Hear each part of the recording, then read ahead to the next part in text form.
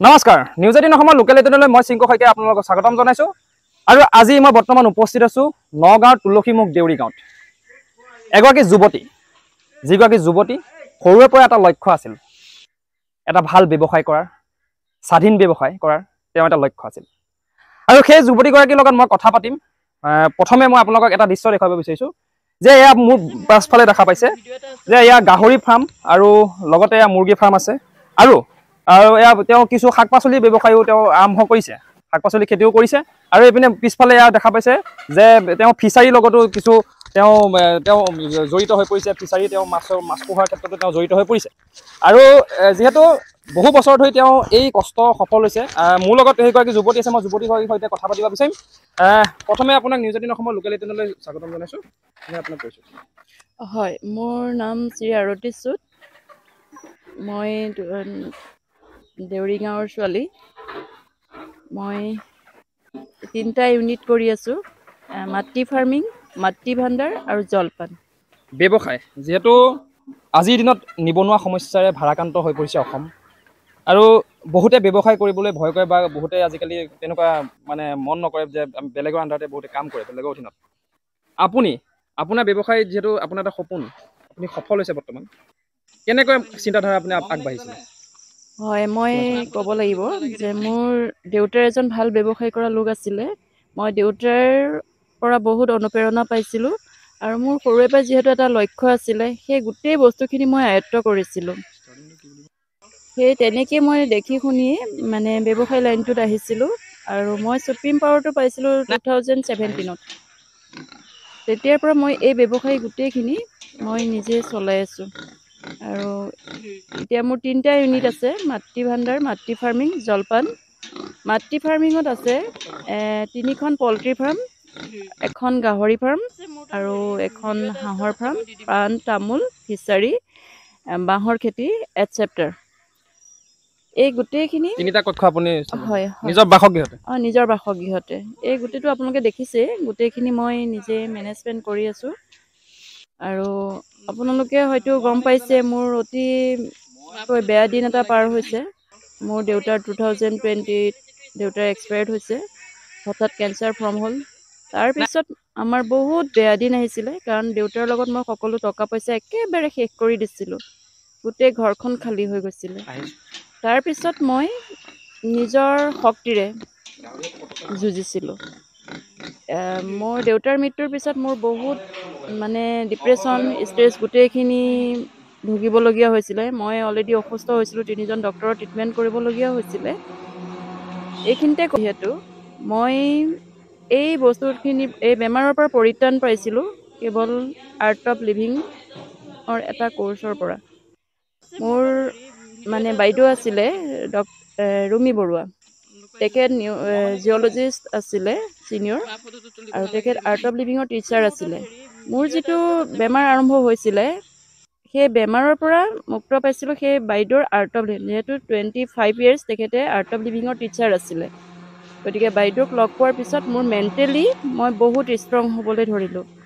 তাৰপিছত মই ব্যৱসায়টো বহুত ডাউনত আছিলে। সেই যিহেতু একদম নাইকিয়া হৈ গৈছিলে সেই মৃত্যু দুৱাৰ দলিৰ পৰা মোক উভতাই আনিছে ডক্টৰ সমীৰ বৰুৱা দীপক গোস্বামী আৰু নগাঁও ডিষ্ট্ৰিক্ট ভেটেনেৰী এগ্ৰিকালচাৰ এই গোটেই মানুহখিনিয়ে মোক এটা মানে ভাল পৰামৰ্শ দি মোক আকৌ উঠাই আনিলে। মানসিকভাৱে যিহেতু আপুনি ভাগি পৰিছিলে ব্যৱসায় ক্ষেত্ৰখন আপোনাৰ যিহেতু বহুতখিনি তললৈ নামি গৈছিলে। আপোনাৰ সেই সময়ত আপুনি ভাবিছিল নে যে মই আকৌ মানে কেনে ষ্টাৰ্টিং কৰিব? অঁ মই ভাবিছিলোঁ মোৰ মনটো মানে বেমাৰী হৈ আছিলোঁ যদিও মই মানে সেই মুহূৰ্তত ভাবিছিলোঁ মই এটা স্থিতপজ্ঞ মন আছিলে যে মোৰ আজি এইটো অৱস্থা হৈছিলে মই এদিন এটা ভাল ৰিজাল্ট কৰিমেই। মানে কি মানুহে কয় যাৰ ওচৰত কোনো নাই তাৰ ওচৰত ভগৱান থাকে। মোৰতো দেউতা বহুত ভাল মানুহ আছিলে দেউতাও গুচি গ'ল। সেই বস্তুবিলাকে অলপ মানে বেছিকৈ ষ্ট্ৰেছ লৈছিলোঁ মই। আৰু তাৰপিছত মই অলৰেডি ভাল মানুহ পাই গ'লোঁ। কাৰণ মই আপোনালোকক কৈছোঁৱেই মোৰ যিখিনি সময়ত মই দিশহাৰা হৈ আছিলোঁ তেতিয়া মই টকা পইচাৰ ফালৰ পৰা বহুতেই দুৰ্বল আছিলোঁ। দুৱাৰমুখে দুৱাৰমুখে মই মানে টকা পইচা বিচাৰি আছিলোঁ। কিন্তু মোক কোনো ফালৰ পৰা ছাপৰ্ট পোৱা নাছিলোঁ কিন্তু অলৰেডি মোক আপুনি যিহেতু তেতিয়া তেতিয়া আপোনাৰ যিহেতু আপুনি বহুতখিনি ব্যৱসায় কৰিছিলে সেই ক্ষেত্ৰত আপুনি চৰকাৰ জনপ্ৰতিনিধি হওক বা।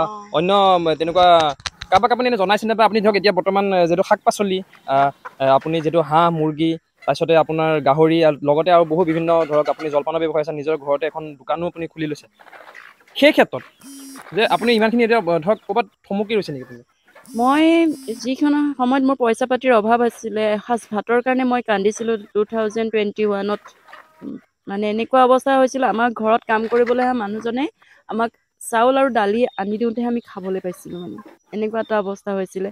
ইফালে মোৰ এটা স্থিতপজ্ঞ মন আছে যিহেতু মই চবৰে দুৱাৰমুখে দুৱাৰমুখে ঘূৰিছিলোঁ। হয়তো আপোনালোকৰ মিডিয়াৰ সকলো বহুতে জানে এই কথাটো যে মই সহায় বিচাৰিছিলোঁ কিন্তু মই কোনো ফালৰ পৰা একো সহায় পোৱা নাছিলোঁ।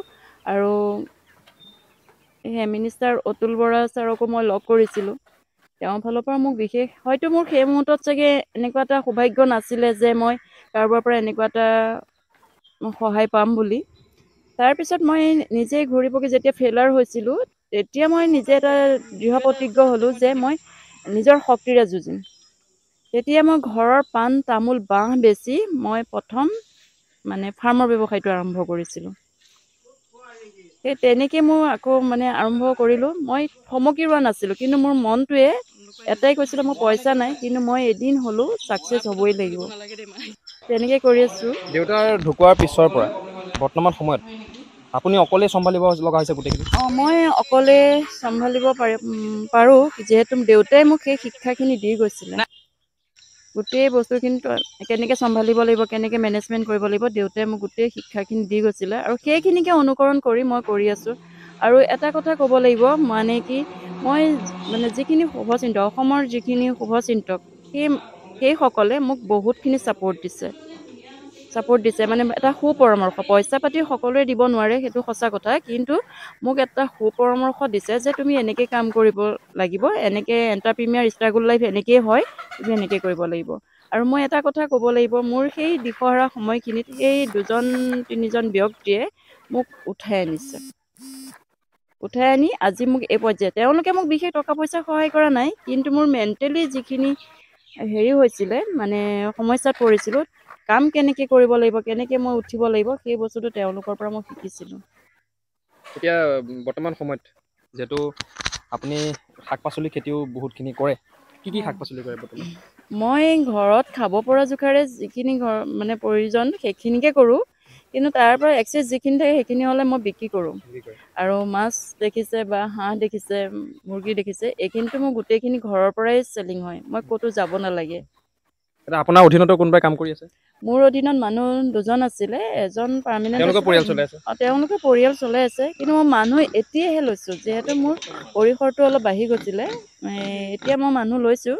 কিন্তু এতিয়া এনেকুৱা কথা প্ৰয়োজনত মাতো অপ্ৰয়োজনত নামাতো মানে। তেনেকুৱা তেনেকুৱাকৈ চলাই আছোঁ আৰু এতিয়া। নিশ্চয় এটা কথা ক'ব লাগিব যে বৰ্তমান সময়ত তেওঁৰ অধীনতো দুগৰাকী ব্যক্তিয়ে কাম কৰি আছে পৰিয়াল চলাই আছে। আৰু এনেদৰেই এই আৰতী সূতে তেওঁ কামত যি মানে কষ্ট কৰি গৈছে তেওঁ সফল হৈছে।